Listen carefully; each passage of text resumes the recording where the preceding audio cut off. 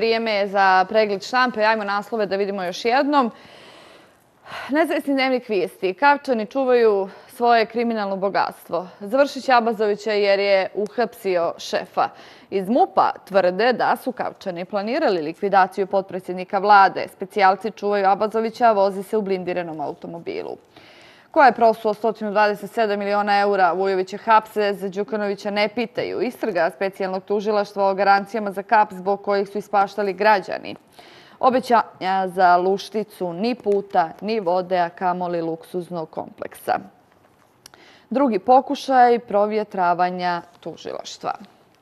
Tako kažu vijesti. Da vidimo što kaže Dan.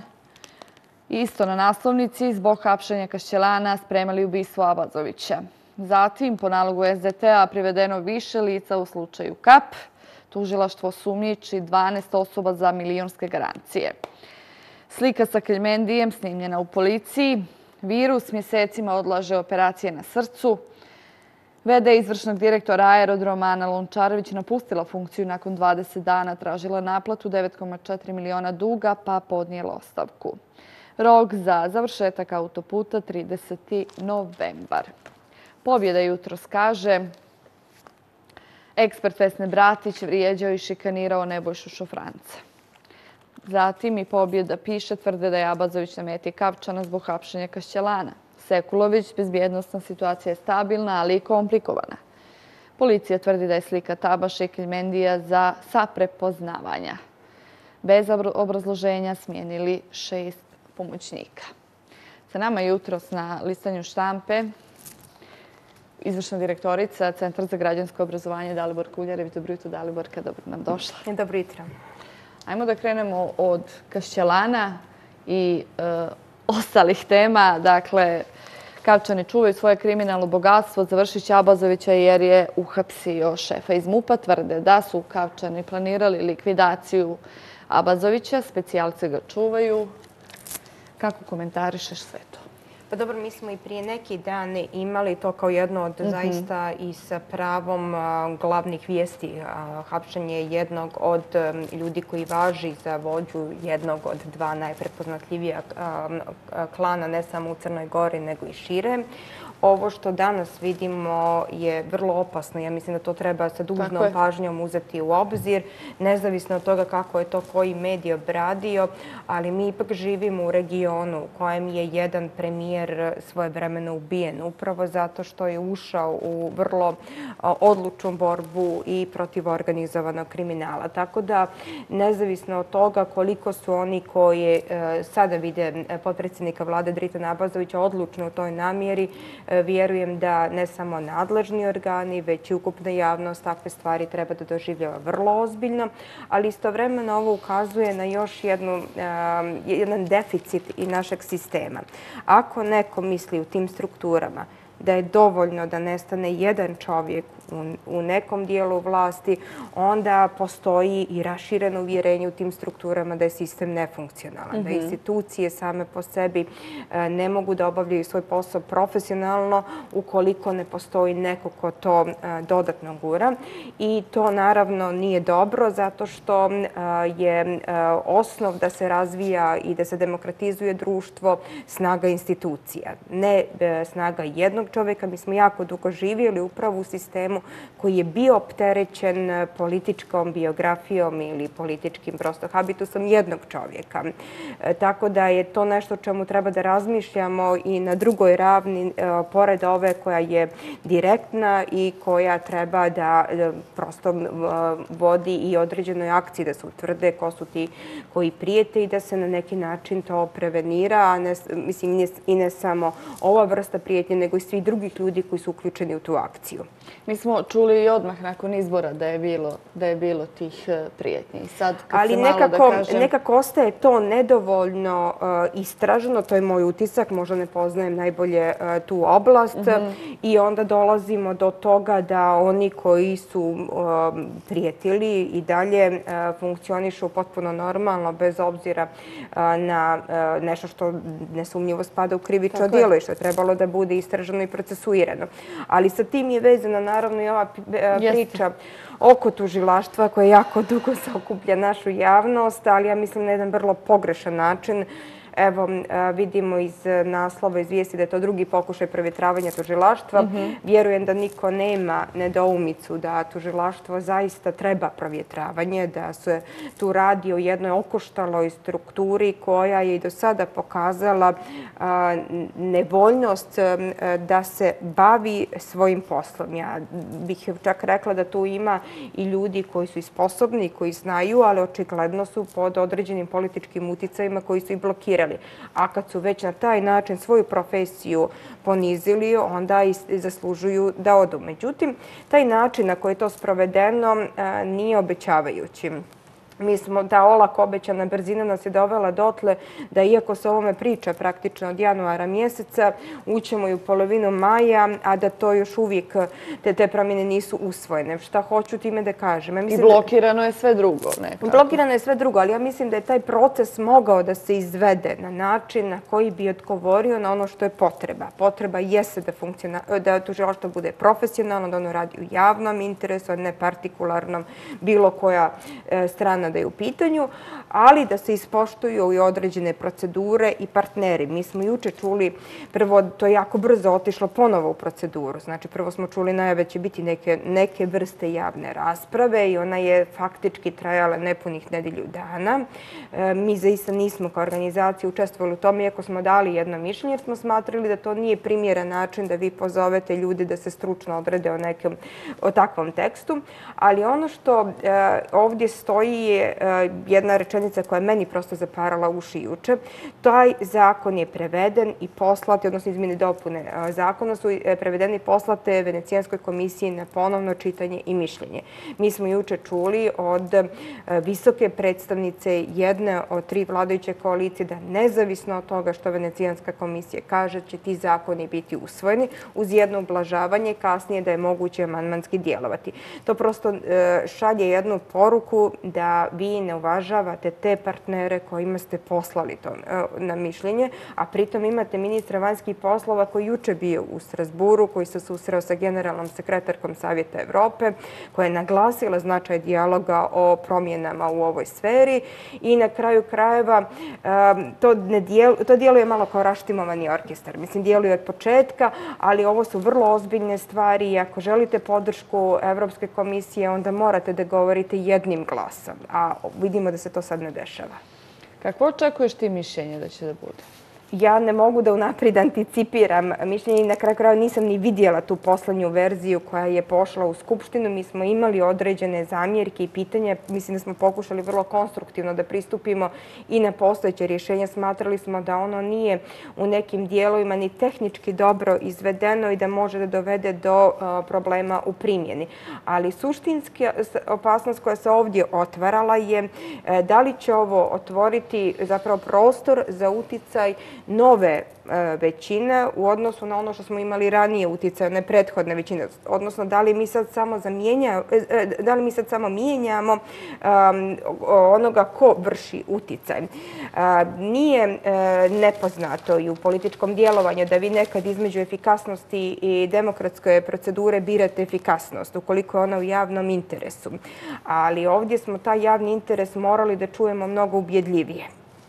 Znači, naglašavam ponovo, tužilaštvo je nefunkcionalno, treba promjene, ali te promjene treba da budu održive, one treba da budu okrenute javnom interesu, a ne bilo kakvoj trenutnoj strukturi i njenim interesima. A mislim da nas vladajuća većina nije ubijedila da je to zaista tako. Dobro.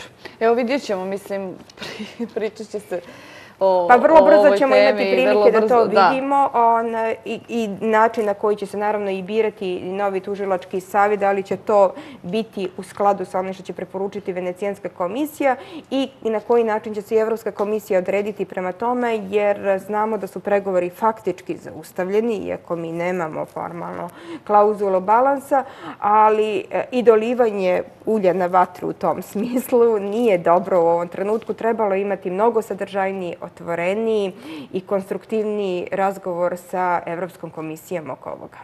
Da li je to želja da što prije dođe do do promjena, da se uradi, da se dobiju rezultati, jer u ovoj oblasti mi smo imali samo, jeli, do sad e, kritike. Pa znate šta, i vi svako jutro kad uđete u ovaj studio želite da uradite najbolje moguće program koji vodite. Ali ja vjerujem da je tome prethodila ozbiljna priprema i da ona nije bila od trenutka kad ste ušli u ovaj studio. Tako i ovo, znači ne dovodim u pitanje namjeru, ali o nekim stvarima treba ozbiljno naprijed promisliti, analizirati ih i vidjeti na koji način se one mogu sprovesti. Jer ja sam naglasila, znači počelo se sa ovim januaru da se mora podhitno usvojiti do polovinom februara, ako se ne varam, a evo stigli smo do polovine maja. I bukvalno sve stoji u mjestu ostalo, tako da... E, znači, nije to kad potrčite tako naglo, a bez plana kuda tačno trčite e, put da stignete zaista do cilja. E, kad vidiš naslovnu stranu i jedne i druge i treće novine, šta ti je još Ja mislim da te naslovne strane odražavaju uh, zaista... Posao je baš nekako... Mučno. Je ta atmosfera koju imamo u društvu je mučna, ona je tenzična i mi stalno imamo nešto što nas podsjeća na to. Počeš od ovoga što je zaista, i opet naglašavam, najveće. Ako je nekome uh, upućenja prijetnja koja se odnosi na njegov život, to je nešto što mora da se uzme kao najozbiljnija stvar. Ali isto tako, vi ste imali priliku da pri nekoliko dana vidite kako je, evo sad vidimo, jedan e, zapošljeni u Ministarstvu prosvjete, nauke, e, sporta i kulture e, vrijeđao i ometao poslu vaše kolegu novinara Šofranca.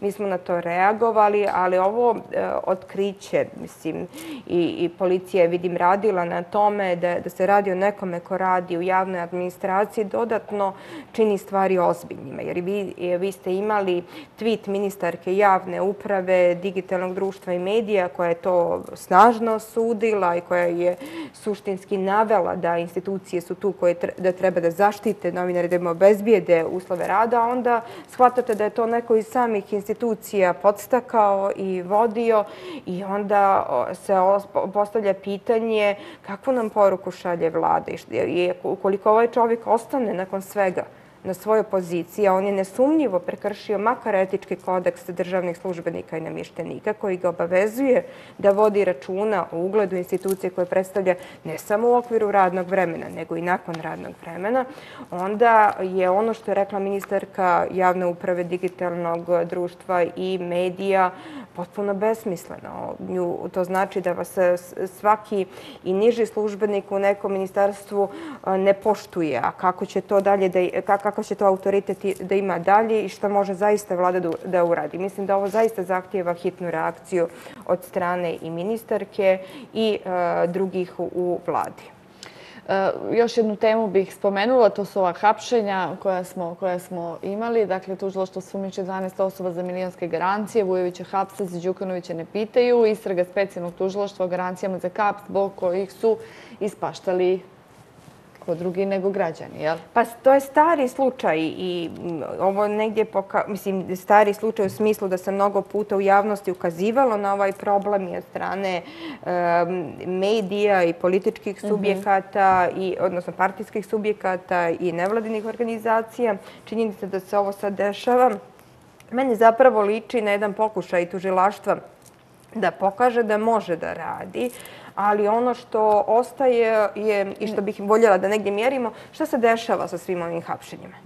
Koliko mi zaista imamo potvrđenih optužnica, koliko mi imamo pravosnažnih presuda koji su neke od ovih stvari dokazali. Po meni bi to bio pravi e, indikator učinka tužilaštva, a ne ono što će da budu određene spektakularne akcije. Vidim neki ljudi su ovdje po drugi put uhapšeni, istine prvi put su bili u nekim drugim slučajima, pa su oslobođeni nakon toga. Znači, ako se to na takav način radi, ili su ti ljudi nevini, pa se na taj način njima nanosi jedna ogromna šteta, jer znate, ovo je mala sredina i ako prolazite kroz tako nešto, to vas treba trajno obilježava ili se radi o jednoj nesposobnosti ili ono što sam negdje na početku rekla, nevoljnosti tužilaštva da zaista ove slučajeve adekvatno procesuira. Mhm. Ali u oba slučaja to zahtjeva odgovornost i same tužilačke organizacije, odnosno njihovi članova, a vidjeli smo ranije jedna od tih stvari koje zaista nije funkcionisala i to je dobra novina koju donose nove izmjene i dopune zakona, utvrđivanje disciplinske odgovornosti na mnogo efikasniji način, jer vi ste imali tužioce koji su sjedali u tužilačkom savjetu koji su se opredijelili ne da brane profesiju, nego da brane kolege. A samim tim su unizili profesiju braneći neke od kolega koji nisu zasluživali tu mhm. odbranu.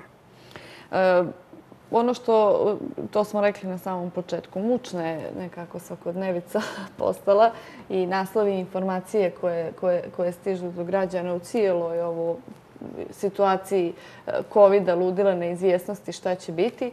I eh, nekako za neke firme i za neke kompanije državne za koje smo mislili da one dobro posluju, znamo, svi da su svi govorili, a super, ko se zaposli tamo, jeli, dobit će. onda ponovo čujemo, na primjer, aerodromi Crne Gore. Sad su i oni u problemima. Pa je vede direktorka tražila pomoć, onda je podnijela, onda je podnijela ostavku. Pa ja sam shvatila, ne znam kako, kakva je zaista finansijska situacija u aerodromima, ali sam pažljivo pročitala pismo gospođe Lončarović juče. Bilo je, mislim, vrlo interesantno vidjeti da neko nakon 20 dana sa takve pozicije odlazi obrazloženje e, zbog čega se to dešava. Moram reći da je to nešto što e, izaziva određeno podrazrenje i prema onome što je ekspertski pristup eh, koji vlada promoviše i transparentnost u tom procesu, profesionalizacija i da eh, ono što je gospođa Lončarović eh, iznijela zahtjeva argumentovan odgovor Ministarstva ekonomije, Ministarstva kapitalnih investicija, izvinjam se. Jer ovdje proizilazi da je ona pokušala da zaštiti interes javnog preduzeća za koje gdje je postavljena na da rukovodi, a da je u tome bila spriječena od strane vlade, kao i da nije bila u mogućnosti da samostalno vodi to preduzeće, iako ona to u skladu sa svojim nadležnostima i treba da radi i e, tako je na kraju krajeva i obećano. Znači, e, nazire se jedan vid partijskog kadriranja, nazire se mjerenje e, koje nije, mislim, mjerenje gdje se može uzeti, a gdje se treba sačuvati, koje nije uvijek u interesu određenih organa. Znači, ja ne negdje mogu da pretpostavim da je ministar Bojanić, koga ona navodi ovdje, e, pokušao da zaštiti budžet vlade Crne Gore time što je e, praktično e, usporavao i vidjet ćemo kako ćete to završiti izvršenje nepravosnažne presude. Ali da li vi imate pravo da to uradite kao minister ako postoji nešto što je pravosnažna presuda i ako postoji pravo jednog organa da to izvrši? Da li će se to sutra dešavati što je meni bilo mnogo indikativnije i u slučaju građana? Da li, kakvu vrstu građani mogu da očekuju zaštite i primjene pravosnažnih presuda ako to ne mogu da imaju ni e, pravna lica? A negdje je pretpostavka da su tu pravna lica i u boljoj poziciji. Tako je.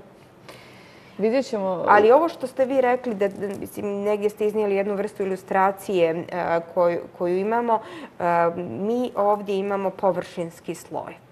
Površinski sloj onoga što je ta loša atmosfera u društvu, poremećenost odnosa, jedan, rekla bih, jedno pomjeranje granica u onome što je javni diskurs, ne samo do nivoa uvrijedljivog, često klevetničkog, već evo vidjeli smo nešto što je bilo na aerodromu, da nije vaš kolega novinar Nebojša Šofranac, E, bio vrlo pomirljivog pristupa. Vrlo lako bi ova situacija eskalirala u nešto što bi možda nosilo jednu agresiju i nasilje. E, I nije ovdje pitanje samo novinara Šofranca. Ovo je moglo da se desi bilo kome ko je prepoznatljiv po tome što ima drugačiji stav o nečemu A to je već nešto što Da, stvara zahtijeva... se slika da ako vam se neko ne dopada, ako vam se ne dopada šta on misli u tom trenutku, da imamo pravo da ga napadnemo, Pa, što to je... je, to je odavno počelo kroz društvene mreže. Nije bilo vjerovatno dovoljno um, ozbiljno shvaćeno, a na drugoj strani sigurno je korona doprinijela tome da ljudi mnogo nervoznije reaguju, da možda sa mnogo, mnogo uh, manje promisle prije nego što nešto izgovore ili prije nego što donesu sude o nečemu, a same institucije, čini mi se, i oni koji su donosioci odluka ne doprinose na adekvatan način smirivanju tenzije. Stalno imamo po nešto što dođe iz određenog političkog spektruma koji to dodatno podigne. Bukvalno svakodnevno i bilo bi dobro da, da se zamislimo svi da vidimo šta nam je činiti. Prije nego što Da. se nešto što bi Eto, bilo tako. razlog za to konkretnije. Tako je, Daliborka, hvala mnogo. Hvala vam.